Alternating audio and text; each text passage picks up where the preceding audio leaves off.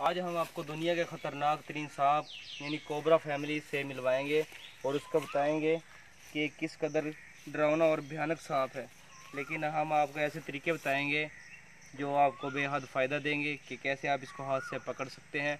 अगर ये आपको डस ले तो फिर आपने क्या करना है? ये सारी मालूम आपको बताएँ।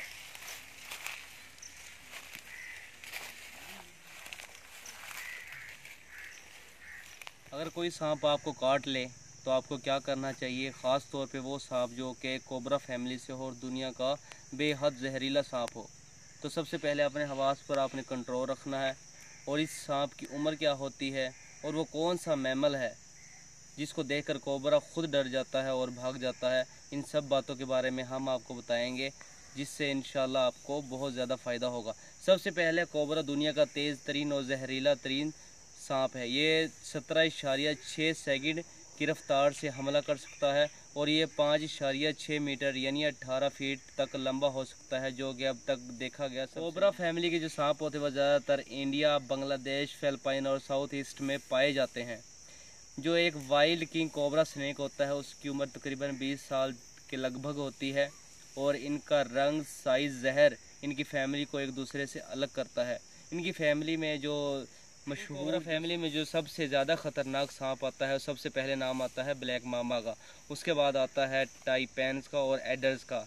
ये बेहद दुनिया के ख़तरनाक तरीन सांपों में से एक और ये कोबरा फैमिली से ही बिलोंग करते हैं। कोबरा सांप जब भी किसी को अपने लिए ख़तरा जानता है तो अपनी ये मुँह को उठा लेता और अपने फन को फैला लेता है, जो कि इस भयानक सांप को और ज़्यादा डरावना और भयानक बना देता है। इसकी ये हरकत इसके शिकार की जान निकाल देती है और ये उस पर हावी हो जाता है और ये माना जाता है कि एक मेल कोबरा एक इंसान से आँखों में आँखें डालकर बात कर सकता है। यानी ये तकरीबन पाँच फीट तक अपनी गर्दन को उठा लेता है। इसकी हरकत बेहद डरावनी होती है।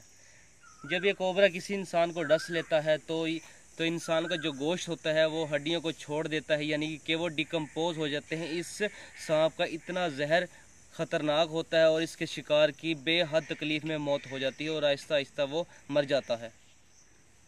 जब कोई आज सांप आपको काट ले तो सबसे पहले आपको किसी अस्पताल तक पहुँचना चाहिए, क्योंकि यही वाहिद इसका हल है।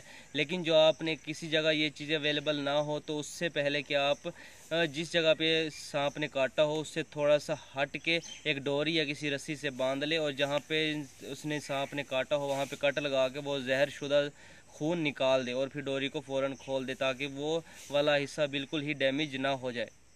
लेकिन एक मैमल ऐसा भी है जिसको देख के कोबरा खुद भाग जाता है और कोबरा की जान पर बन जाती है। वो मैमल जिसे हम उर्दू ज़ुबान में नेवला कहते हैं, वो इसका शिकार बहुत शौक से करता है। ऐसा माना जाता है और ऐसा समझा जाता है कि शायद नेवले पर इसका जहर असर ही नहीं करता।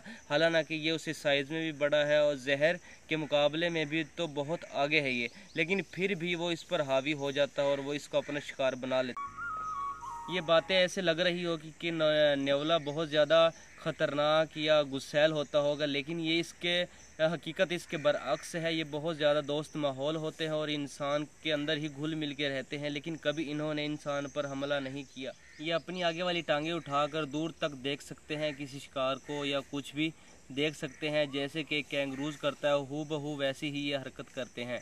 उम्मीद है आपको मेरी वीडियो पसंद आई होगी और आपको कोबरा के मुतालिक बहुत सी इन्फॉर्मेशन भी मिली होगी। आपके साथ फिर किसी वीडियो में मिलेंगे। आप हमारे चैनल को सब्सक्राइब करें शेयर करें और कमेंट्स में लाजमी बताया करें।